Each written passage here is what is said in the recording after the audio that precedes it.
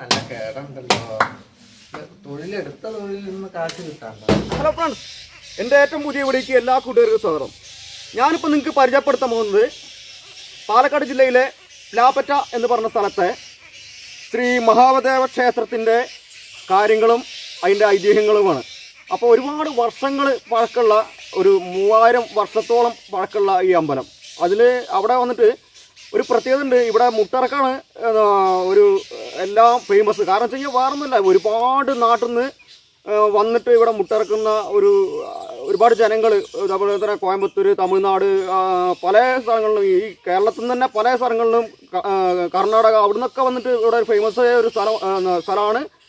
അപ്പോൾ അതുപോലെ തന്നെ നമുക്ക് കൂടുതൽ സംസാരിക്കാതെ നമുക്ക് വീഡിയോയ്ക്ക് പോവാം. അതിനു മുമ്പ് ഞാനൊരു കാര്യം കേട്ടോ. ഇവിടെ സൗണ്ട് ഭയങ്കരമായിട്ട് കേൾക്കുന്നുണ്ട്.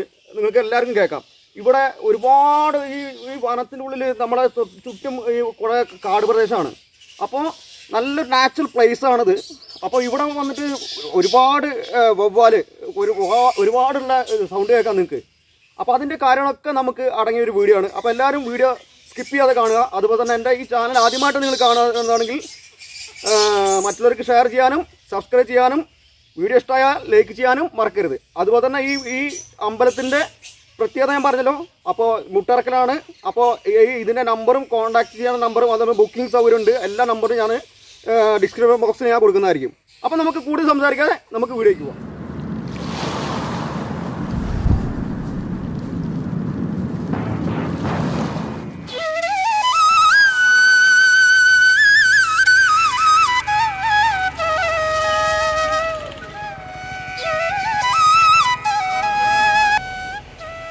പാലക്കാട് ജില്ലയിലെ കോങ്ങാട്ടിൽ നിന്നും മണ്ണാർക്കാട്ടേക്ക് പോകുന്ന വഴി ടിപ്പുസ്ഥാൻ റോട്ടിലെ പുലാപ്പറ്റ എന്ന സ്ഥലത്താണ് ഈ മോട്ടത്തമ്പലം സ്ഥിതി ചെയ്യുന്നത്.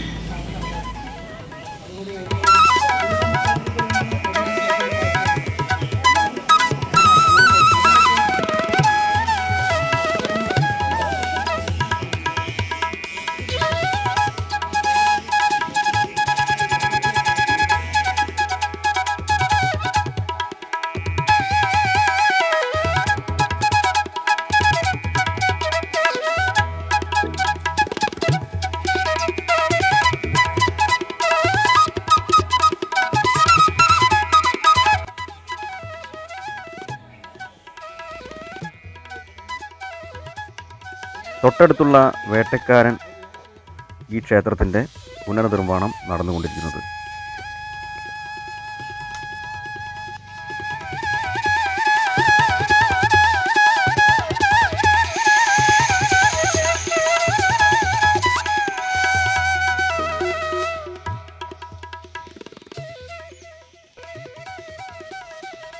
ക്ഷേത്രത്തിന് ചുറ്റും ധാരാളം മരങ്ങളും അതുപോലെ കാട് പിടിച്ച സ്ഥലമാണ്. പിന്നെ അതുകൂടാതെ തന്നെ ധാരാളം കിളികളും പിന്നെ എണ്ണിയാ തീരാത്തത്ര വവ്വാലുകളും നിറഞ്ഞ ഒരു സ്ഥലമാണ്. തലകീഴായി നിന്ന് ഓം നമ ശിവായ എന്ന പഞ്ചാക്ഷരി മന്ത്രം ജപിക്കുന്നു ഇവരുടെ മോക്ഷപ്രാപ്തിക്ക് വേണ്ടി. അതുകൊണ്ടാണ് മോക്ഷത്തമ്പലം എന്ന പേര് വരാൻ കാരണം എന്നാണ് പൂർവികർ പറയുന്നത്.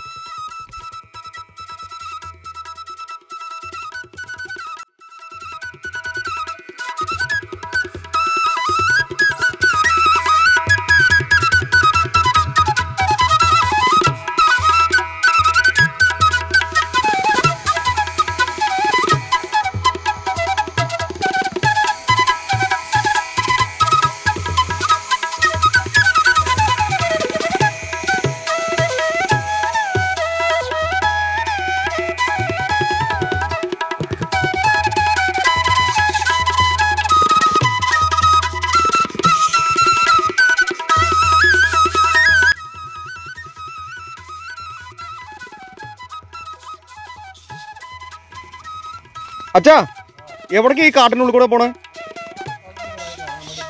എന്ത്?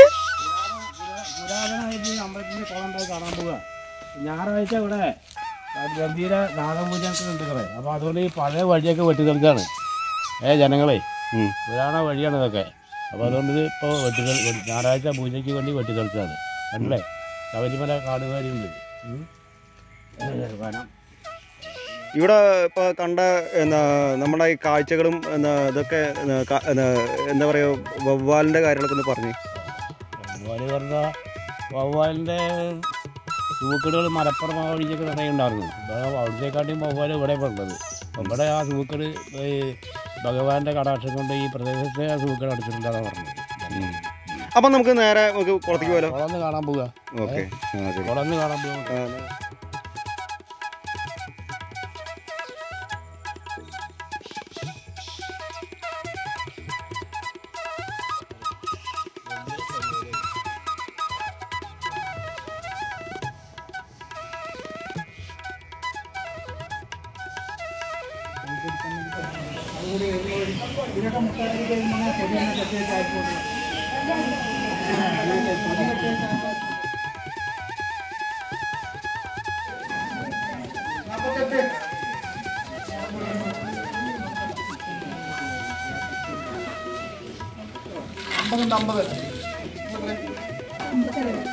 അമ്പത്തൊന്ന് അമ്പത്തിരണ്ടൊക്കെ ഓർഡറിൽ ഇരുന്നോളൂ പിടിക്കുന്നു അങ്ങനെ മീൻ കൊടുക്കും അങ്ങനെ മീൻ കൊടുക്കും. അങ്ങനെ മീൻ കൊടുക്കും. ഓർഡറിൽ ഇരുന്നോളൂ ഓർഡറിൽ ഇരുന്നോളൂ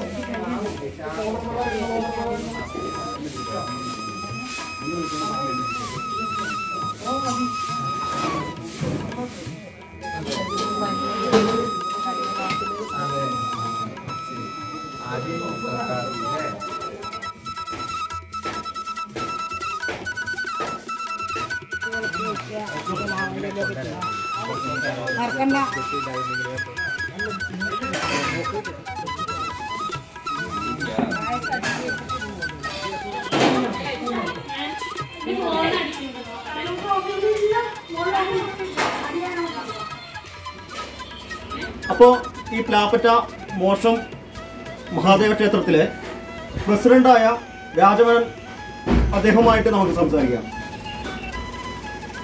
നമശിവായ പുലാപ്പറ്റ മോക്ഷത്തെ മഹാദേവക്ഷേത്രം. മൂവായിരം വർഷമാണ് ഈ ക്ഷേത്രത്തിന് സ്വർണ ആരൂഢ പ്രകാരം പഴക്കം നിർണയിച്ചിരിക്കുന്നത് ശിവപാർവതി ഒക്കത്ത് ഗണപതി അയ്യപ്പൻ പൂർണ പുഷ്കല കിരാതമൂർത്തി. ക്ഷേത്ര സമുച്ചയത്തിനുള്ളിൽ ഈ പ്രതിഷ്ഠകളും പുറമേ നാഗരാജാവ് നാഗയക്ഷി നാഗകന്യക ബ്രഹ്മരക്ഷസ് സുബ്രഹ്മണ്യ സമേത നാഗങ്ങൾ. പുറത്ത് വേട്ടേക്കരൻ എന്നിങ്ങനെയാണ് ഈ ക്ഷേത്ര സമുച്ചയത്തിലുള്ള പ്രതിഷ്ഠകൾ ഇവിടെ പ്രാധാന്യം മംഗല്യഭാഗ്യം സന്താനഭാഗ്യം എന്നിവയ്ക്കെല്ലാം ചെയ്യേണ്ട വഴിപാടുകൾ. എല്ലാ മുപ്പട്ട് തിങ്കളാഴ്ച തോറും അണിമംഗലം ബ്രഹ്മശ്രീ നാരായണ നമ്പൂതിരിയുടെ മുഖ്യ കാർമ്മികത്വത്തിൽ നടത്തപ്പെടും. മൂന്ന് തുടർച്ചയായിട്ടുള്ള മംഗല്യപൂജ ഒരു നാഗപൂജ ഒരു സർപ്പബലി ഒരു മത്തവിലാസം കൂത്ത് എന്നിവയാണ് ഇതിന് മുൻകൂട്ടി ചെയ്യേണ്ട വഴിപാടുകൾ. പിന്നെ ഒരു പ്രധാനപ്പെട്ട പ്രാർത്ഥനയുള്ളത് ഒരു ടിന്നെണ്ണ ഒരു ത്രികാലപൂജ ഒരു മത്തവിലാസം കൂത്ത് പ്രാർത്ഥിക്കുക. എന്താണോ പ്രാർത്ഥിച്ചിരിക്കുന്നത് അതിന്റെ ബലസിദ്ധി കിട്ടി ഒരു മാസത്തിനുള്ളിൽ വഴിപാടുകൾ നിർവഹിക്കും. പിന്നീട് പുറത്തുപോയ നാഗദൈവങ്ങൾക്ക് എല്ലാ ആയിലും നാളിലും പാതിരിക്കുന്നത്ത് ബ്രഹ്മശ്രീ ശ്രീകൃഷ്ണ നമ്പൂതിരിയുടെ കാർമ്മികത്വത്തിൽ കാലത്ത് നാഗപൂജ വൈകുന്നേരം സർപ്പവും അതും സന്താനഭാഗ്യം ആം, നാഗ ശാപങ്ങൾ ഉണ്ടെങ്കിൽ അത് തീരാൻ വേണ്ടിയിട്ടുള്ള പൂജകളും എല്ലാ ആയില്യ നാളിലും ഇവിടെ നടത്തപ്പെടും. ചൊവ്വ വെള്ളി ഞായർ എന്നീ ദിവസങ്ങളിൽ നടത്തപ്പെടുന്ന മുട്ടറത്ത് ബലം പറയൽ മേൽശാന്തി ശ്രീരാമസ്വാമിയുടെ മുഖ്യ കാർമ്മികത്വത്തിലാണ് നടത്തപ്പെടുന്നത്. അന്നേ ദിവസം കാലത്ത് ഒമ്പതര മണിക്ക് ആണ് ഈ വഴിപാട് തുടക്കം. ധാരാളം ഭക്തജനങ്ങൾ പല സ്ഥലത്തു നിന്നും ഇവിടെ എത്തിച്ചേർന്ന് ഇതിൽ പങ്കാളികളാകുന്നു. ഈ ദിവസങ്ങളിലെല്ലാം തന്നെ പ്രഭാത ഭക്ഷണവും ഭക്തർക്ക് നൽകുന്നുണ്ട്. പിന്നീടുള്ളത് മത്തവിലാസം കൂത്താണ് ഏറ്റവും പ്രധാനപ്പെട്ട വഴിപാട് അപൂർവ ക്ഷേത്രങ്ങളിൽ മാത്രം നടത്തപ്പെടുന്ന മത്തവിലാസം കുത്ത് മൂന്ന് ദിവസമായിട്ടാണ് കൊണ്ടാടുന്നത്. ശിവരാത്രിയോട് അനുബന്ധിച്ചിട്ടുള്ള ഏഴ് ദിവസം മുമ്പേ ഈ വഴിപാട് തുടരുന്നു.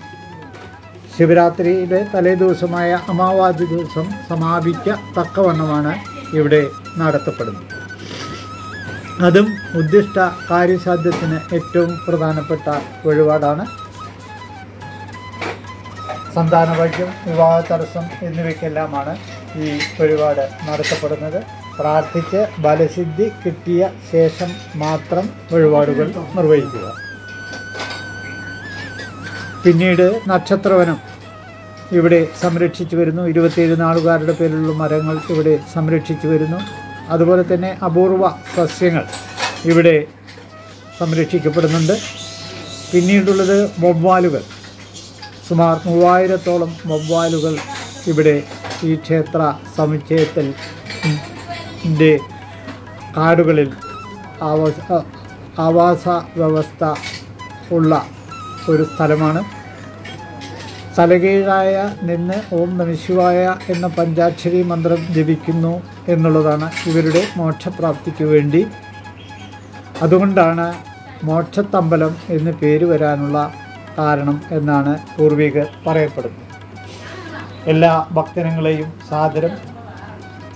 കോങ്ങാട് മണ്ണാർക്കാട് ടിപ്പു സുൽത്താൻ റോഡിന്റെ പാർശ്വത്തിലുള്ള ഉമ്മനേയുടെ സമീപത്തുള്ള ഈ ക്ഷേത്രങ്ങളിലേക്ക് ക്ഷേത്രത്തിലേക്ക് സാദരം ക്ഷണിച്ചുകൊള്ളുന്നു. ഓം നമശിവായ അപ്പോൾ ഈ കൃഷ്ണപ്പേരാൽ എന്ന് പറഞ്ഞ മരത്തിന്റെ പ്രത്യേകത എന്ന് പറഞ്ഞ പ്രേക്ഷകർക്ക് നന്നായിരുന്നു. പേരാൽ ഇനത്തിൽപ്പെട്ട ഒരു അപൂർവ സസ്യമാണ് കൃഷ്ണപ്പേര. ഇതിന്റെ പ്രത്യേകത എന്താണ് എങ്കിൽ എല്ലാം കുമ്പിൾ പോലെയാണ്. മറ്റേ സാധാരണ പേരാലിന്റെ എല്ലാം പരന്നിട്ടാണ് ഇത് കുമ്പിളാണ് പിന്നിൽ സപ്പോർട്ടും ഉണ്ട്. പണ്ട് ഗോപികമാർ കൃഷ്ണന് വെണ്ണ കൊടുത്തിരുന്നത് ഈ ഇലയിലായിരുന്നു അത്ര. അത്രയും പവിത്രവും ശ്രേഷ്ഠവുമായ വൃക്ഷമം ഇവിടെ പരിപാലിച്ചു. ഓം നമിച്ചു ഇത് കൂവള ഇനത്തിൽപ്പെട്ട ഒരു അപൂർവ വൃക്ഷമാണ്. ശിവന് കൂവളത്തിന്റെ ഇല അതിപ്രധാനമാണ്. ഏഴ് ഇതളുകളാണ് ഇതിലുള്ളത്. അതുകൊണ്ടാണ് ഇതിനെ സപ്തദള കോളം എന്ന് പറയാൻ കാരണം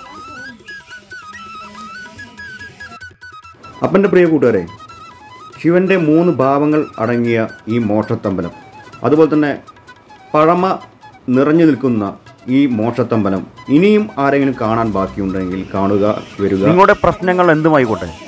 മുട്ടറത്ത് ഫലം പറയുന്ന ഏക അമ്പലം ലാപ്പറ്റ മോക്ഷത്തമ്പലം അപ്പോൾ അടുത്ത വീഡിയോ നമുക്ക് വേറെ വ്യത്യസ്തമായ ഒരു വീഡിയോയിൽ കാണുന്നവരേക്കും. ബായ്